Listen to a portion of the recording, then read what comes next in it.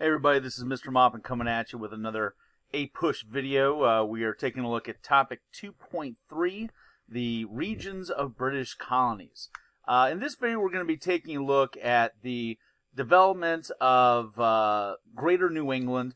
Uh, yes, we are going to be taking a look at some issues that will be affecting, you know, for example, Massachusetts, but we're also going to be venturing out into the other neighboring colonies of that region, such as the formation of Rhode Island, uh, Connecticut, and New Hampshire. But uh, we are going to start off first in Massachusetts. Uh, once again, here is a quick reminder of the region. Uh, previously, we talked about Plymouth being the first permanent settlement for the British in for the, yeah for the British in New England, and then ten years later, Massachusetts Bay being formed, uh, centered right here in Boston. Both of these uh, settlements are going to be, you know, kind of the, the standard bearer for what is going to be, you know, the majority of these settlements in the region that is going to be, at least the majority initially, that is going to be centered in on very strict Calvinist, Puritan, uh, religious ideals that kind of define these communities. Um, now, that of course includes concepts such as predestination and having a covenant with God, you know, things like that. Uh, but as we go through the century, and, and, remember, you know, we're we're covering a long period of time in this unit. Uh, so remember, you know, things change over time, and one of those things that's going to be changing is uh, how religion is going to be viewed in this region. And you're going to start to see some folks that are going to be questioning some of the very, you know, devout, uh, conservative ideals that had, you know, been the foundation for these settlements. And one of these people in particular that's going to have a very significant impact is this woman right here. This is Anne Hutchinson. Uh, Anne Hutchinson was an immigrant from England that uh, came over in the uh, the 1630s. Uh, her and her 11 children, if you will. Um, and she is going to really kind of shake up the status quo. Uh, you know, she is going to be challenging a lot of the conventional wisdom in terms of theology in Massachusetts Bay. And of course, being a woman at that time, this is going to be seen as especially threatening because this is not just questioning the religious values of the community, but it's also questioning gender roles. The idea that a woman is going to be asserting these, you know, these, uh, you know, very extreme beliefs. Well, what are these beliefs? What is she going to be talking about? Well, uh, Anne Hutchinson is going to be uh, a supporter of this uh, antinomianism uh, uh, movement at the time. Uh, now, Anne's part in this is going to be centered in on the idea that in order to, uh, you know, be destined for heaven, if you will, remember the general assumption is that even though predestination existed, uh, you were always looking for signs of God's favor, and there was a general sense that if you showed the signs of, God, of God's favor in this life, then you got a pretty good indication of where you're going to be in the afterlife. Uh, and Anne Hutchins is going to be rejecting a lot of that. Uh, she's going to be of the mindset that uh, you can have direct, uh, you know, uh, revelation from God. The idea being is that God can give you, uh, you know, what the answers to the Bible are. which is going to be flying in the face of the conventional, you know, theology there, which was uh, the Bible is what it is. It says what it says. Uh, there's really nothing more to it. Whereas Anne Hutchinson says that, you know, hey, you know, God can speak to you directly and tell you what the Bible means, even if it's in conflict with what other people think. So there's this sense of, you know, hey, you can challenge the status quo and defy the rules of the, the, the theocratic rules of the community. Well, community leaders in Massachusetts did not like it, and they especially did not like this coming from a woman. Uh, she's basically gonna, basically going to be viewed as, for lack of a better term, a heretic uh, in defying this. She's going to be accused of committing heresy. And uh, just a few years after landing in Massachusetts Bay, she and her family are going to be uh, summarily re- kicked out of Massachusetts Bay. Uh, she will be in Rhode Island for a few years, but eventually she will make her way down towards uh, New Amsterdam, or at least outside of New Amsterdam, in the Dutch area there, where unfortunately her and six of her children will be massacred as, as part of an Indian raid. Uh, but the impact of Anne Hutchinson is very, very significant because she is going to be not only defying religious norms at that time, she is going to be defying, or excuse me, defying gender norms. I mean, you can certainly, you know, point to her as an example of feminism, the idea that she is, you know, uh, refusing to accept what uh, men had told her uh, a woman's role is supposed to be. Uh, but it does also speak to the reality is that, you know, if you did not fit in with the rules of that community, the community really wasn't going to change. They were going to just kick you out of the community. Uh, and so the basic understanding was that in Massachusetts, you either followed the, you know, the religious dogma of that community or you are out of the community. And this is going to lead to the creation of some of these other neighboring colonies, starting with uh, Rhode Island.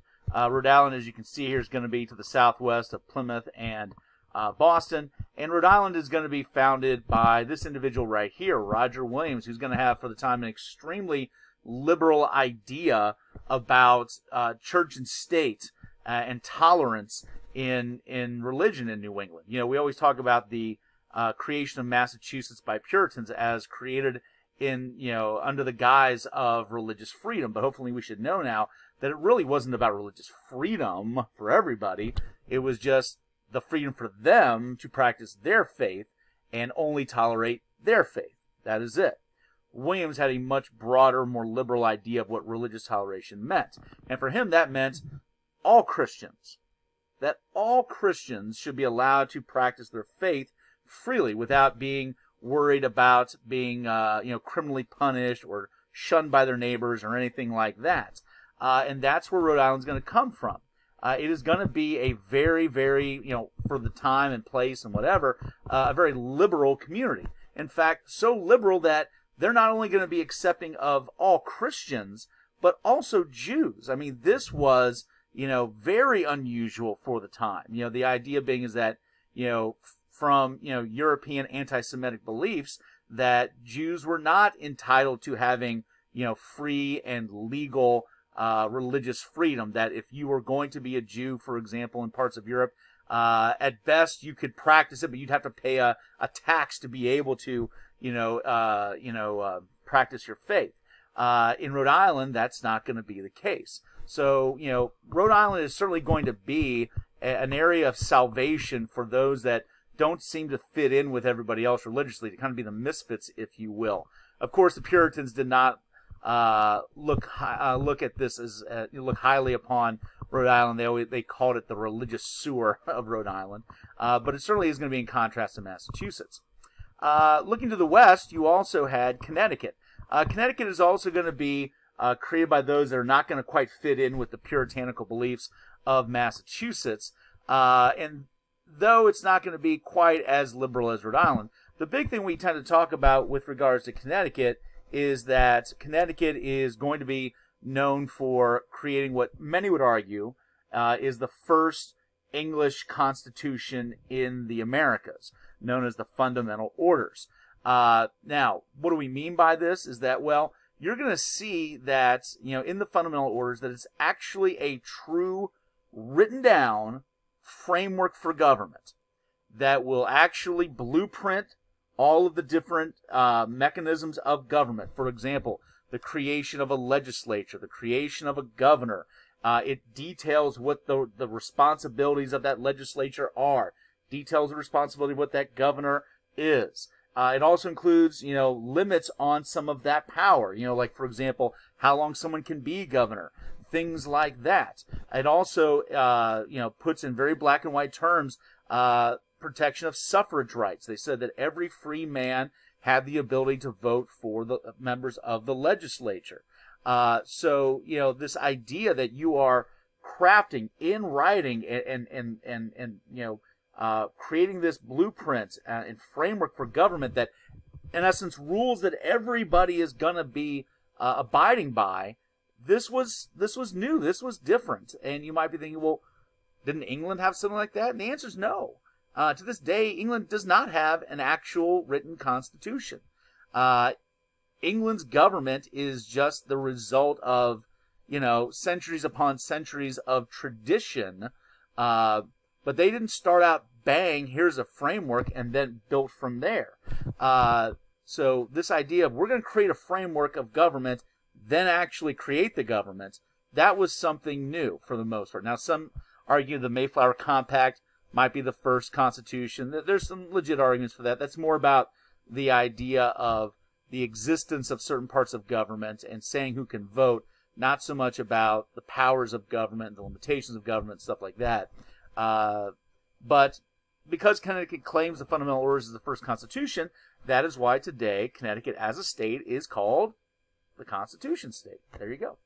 All right. Uh, now, looking up to the north, you also had uh, New Hampshire. New Hampshire is going to be coming along a little bit later compared to these others, you know, much later in the century.